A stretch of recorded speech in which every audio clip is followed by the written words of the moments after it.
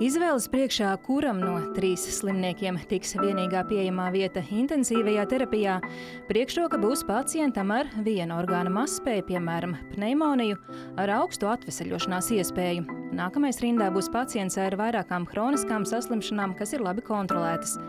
Savukārt pacients, kuram jau sākotnēji prognozējama augsta mirstība, intensīvajā terapijā varēs tikt tikai tad, ja neviena cita ar labākām izredzēm nebūs.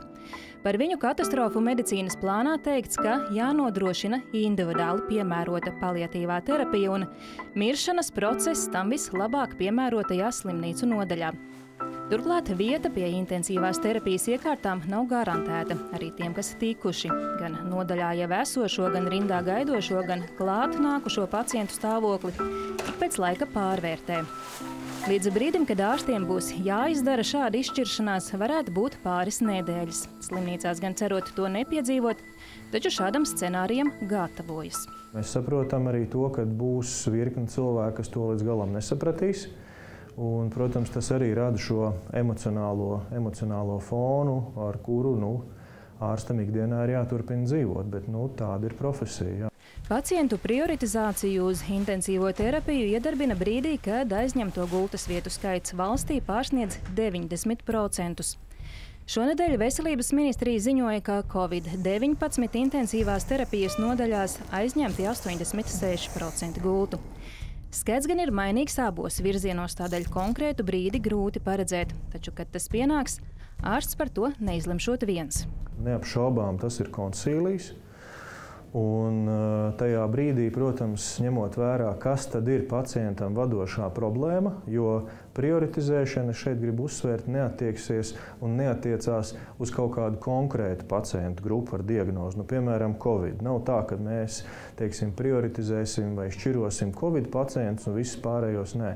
Prioritizēšana skar absolūti visas diagnožu grupas. Lai šo iespēju attālinātu, Rīgas austrumu slimnīca intensīvās terapijas nodaļu resursus ir palielinājusi nevien pārprofilējot, bet arī pilnīgi no jauna papildus ierīkojot 12 intensīvās terapijas vietas. Priekšdarbi veikti arī Strādiņa slimnīcā. Mēs tam gatavojamies. Mēs ceram, ka situācija būs, nebūs traģiska, bet mēs tam gatavojamies. Slimnīcu anesteziologu un reanimatologu pārvirzīšana uz šīm nodaļām ir viens no iemesliem, kādēļ vairs nav iespējams plānveida operācijas.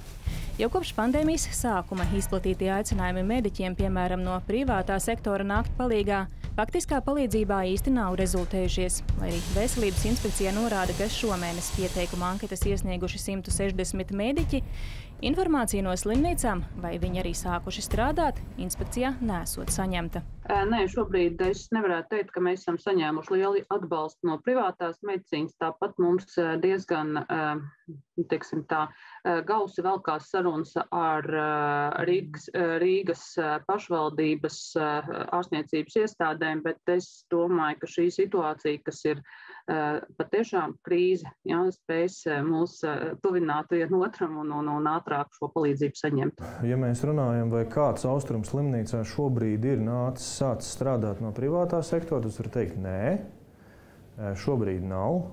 Vai tas notiks, es nevarētu šobrīd nokomentēt. Neatliekamās medicīniskās palīdzības dienestā, kur vislabāk redz kopējo slimnīcu noslodzi, atzīst, ka šķirošanai jau sen tiek pakļautas ar vien jaunas pacientu grupas, un arī cilvēkiem, kam vajadzīga intensīvā terapija, kas ir galējais šķirošanas posms, jau ir tikušas steidzami meklētas vietas. Es esmu bijusi iesaistīta situācijās, arī, kad slimnīcas lūdz papildus atbalstu no valsts materiālajām rezervēm, elpināšanas iekārtu ziņā, kur patiešām jau bija aizņemtas visas intensīvās terapijas gultas, bet uzņemšanā atradās četri potenciāli pacienti, kuriem varētu būt nepieciešama šāda palīdzība. Dienesta vadītāja secina, ka līdz šādam faktiski kolapsa jeb sabrukuma stāvoklim nonākt nedrīkstēja.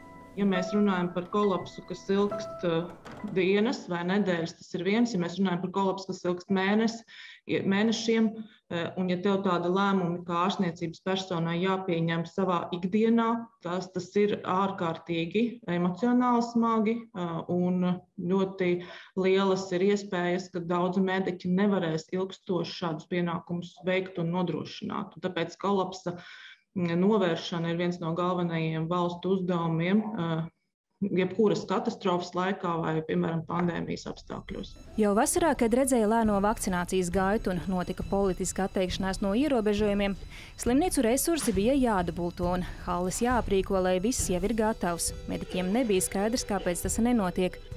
Veselības ministrija papildu resursu iespējas sāk apzināt oktobrī, bet to, ka, piemēram, Madonas slimnīca nav gatava Covid pacientu uzņemšanai, pat nenoskaidroja, taču uzdevumu tos pieņemt deva. Iztēloties, ka Latvija būs pirmajā vietā pasaulē, ka mums šajā rudenī būs saslimstības vilnis, kas tālu pārsniegs to, kas ir pieredzēts pagājušajā ziemā, iztēloties to bija diezgan grūti. Līdz ar to mūsu plānošanas pasākumos saulēcīgi ir, ir veiktas tās darbības, par kuru iestāšanos mēs bijām rēķinājušies. Tad ir teiksim, šie dramatiskie krīzes scenāriji, kas pārsniedz jebkuras teiksim, mūsu nu, ļaunāko no, aizdomu robežas, kurām mēs gatavojamies atbilstoši situācijai. Tas gan pietuvina galējas izšķiršanās iespēju par pacientu dzīvību, kas ir arī smags medicīnas ētikas jautājums. Slimnieku prioritizācija resursu trūkuma apstākļos ir pieļaujama, secina eksperti, taču tam noteikti jābūt reglamentētam. Tādēļ esot labi, ka tas vismaz ir atrunāts. Un zināmā mērā tā ir arī tāda atbildības sadalīšana, zināmas politiskas atbildības uzņemšanās, ka šie kriteriji ir politiski apstiprināti un, un ārsti, nu, ārsti seko šiem kritērijiem, tas zināmā mērā uh, noņem atbildību no ārstiem, kas, eh, manuprāt, ir svarīgi šādā situācijā, kas, protams, eh, nenoņem tās morālās grūtības, kādas katram ārstam būs šos eh, kritērijus īstenojot, jo nu, tas, tas ir ļoti sāpīgi.